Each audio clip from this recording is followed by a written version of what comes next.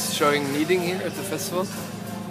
Uh, we're here at Armazem at the festival center, and I was presenting Kneeding um, yesterday and also tonight. I'm Swedish Dutch choreographer living in Berlin.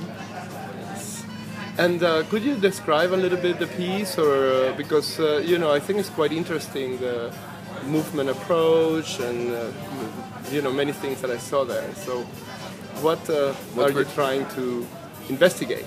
Put it that way. Um, it's a piece. Um, I would say the performance is. Um, we're trying to work with the different spaces of the body and the different spaces that the body can be in, and how these spaces affect each other. So, for me, the piece has a lot to do with what is inside the body, what is outside the body, what is the body, uh, and how do these things interact with each other how do how does my psyche affect how i move how does my environment affect how i express myself but in a very very abstract way actually Uh-huh. through movement Yeah. Yeah, in a way, also it's kind of uh, I imagine as a choreography, is, uh, the structure improvisation that you know that you the dancers, the three dancers explore, let's say in real time, some Yeah. of your uh, ideas or your images. yeah the live the the live uh, we call it practice we don't we don't Uh-huh. uh, call it improvisation because it's a very very rigorous framing of Uh-huh. an activity that we do that we practiced for many many weeks Yeah. and um, the point is very much that the audience is a witness of this practice live. Mm-hmm. And that you become a witness to the process that happens through this. Mm-hmm. And actually the, it is something physical we're busy with but ideally you perceive a lot of other processes that reach into other regimes of emotions or, or spirituality or into mm-hmm. uh, uh, imaginary levels or and but that you are actually witness of this happening right in front of your eyes is and that you actually feel and perceive that it is happening live Yeah. that it is not set but that it is an ongoing process. Mm-hmm. This is very much the kind of centerfold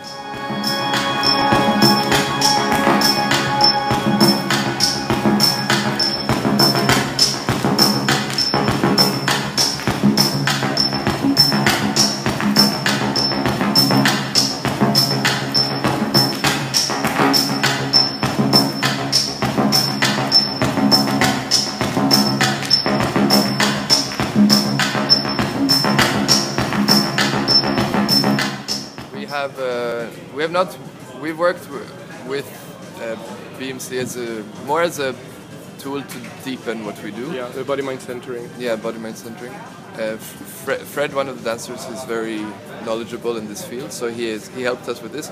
But to the the practice is based on fic- a fictional division of the body, A fiction? a fictional divi- Fiction, okay. division of the body. So there's no truth about it. It's just um, it, we have created a system in which we divide the body and the contents of the body, the container of the body, everything you can touch and everything you cannot touch. So these four layers, so to speak, they are always in r- interaction with each other. One of them needing the other always. Uh, and this division is also is all. I use this division only uh, because it's interesting for what it produces, and then there has been some sort of work around somatization and how you get into your body and into these different la- layers of the body that then I guess also creates this this this feeling you have of, of uh, uh, som- somatic body exploration. Yeah, you know, like, and I actually got that also reading what the piece was about and etc. It's not that I see it in an obvious way, actually, yeah. but definitely you feel some kind of uh, water. You know, I just feel like it's something that is just really liquid, but at the same time, there's uh, there is something always something going on. You know, it's like there is never a moment of. It's like our body when we are alive. That Yeah. there is always some kind of metabolic thing going on. Yeah, we, yeah, we never in, in this piece we never ever stop moving. It's a continuous kneading, yeah. and this kneading it, it always remains a physical needing, so the it creates a kind of continuous, a, a kind of repetition, but always new. Uh-huh. Like I don't know how you how you would make dough, how would you would make bread. You know, it's a, it has a very Yeah. pump, pumping quality, but at the same Yeah. time, it's it's never ever the same, Yeah. really. So that that quality was very interesting to me. Yeah. And what about the the masculinity aspect or male aspect?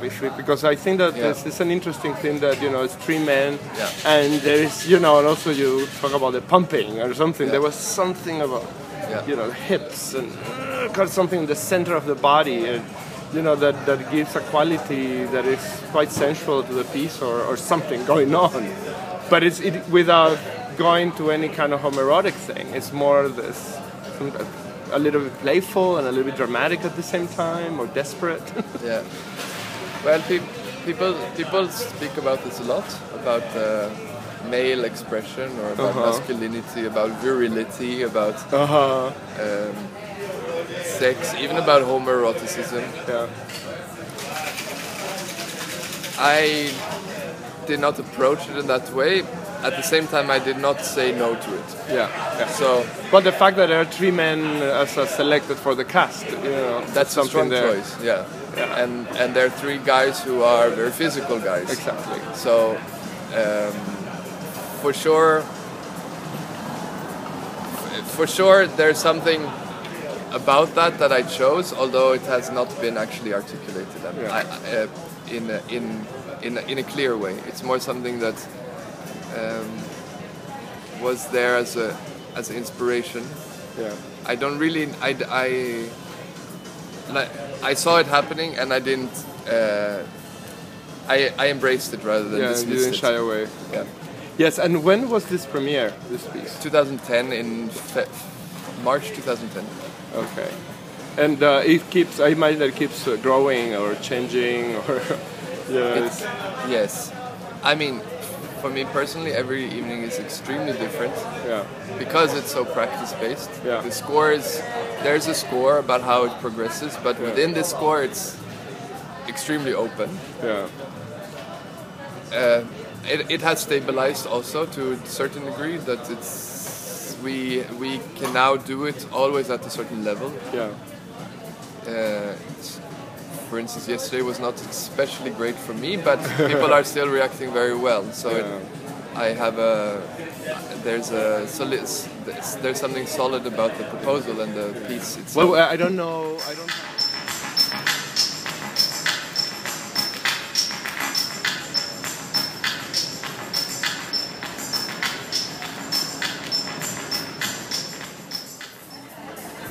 They my pieces always display a process i would say.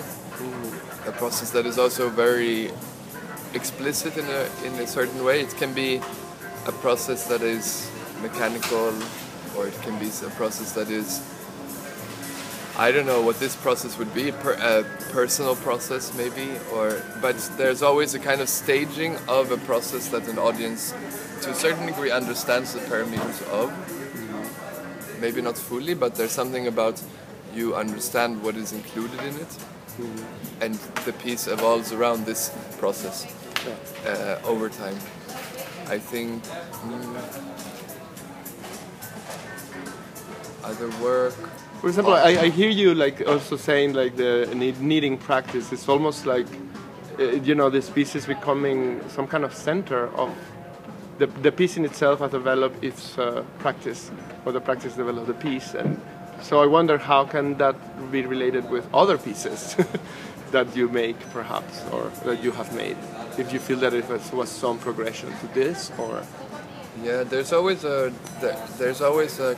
Um, I'm very interested. I think I always keep.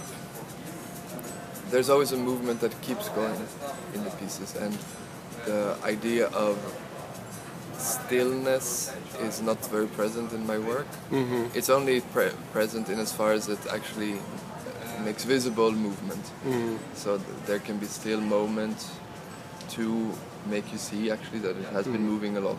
Or, Mm-hmm. But there's always a kind of continuous tension and stretch of or for instance in Kneeding a, ki- a kind of continuous pumping that only become at the very end when we stop it becomes very apparent that we have been actually moving the whole time Yes. Yeah.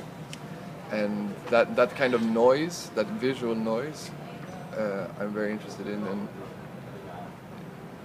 runs through sometimes you don't even think sometimes you don't maybe think that there is movement but Yeah. it's it's held in such a way that you're actually drawn to look at it Yeah. and that you look at the movement in the Yeah. end. So the movement is the reason why we do it.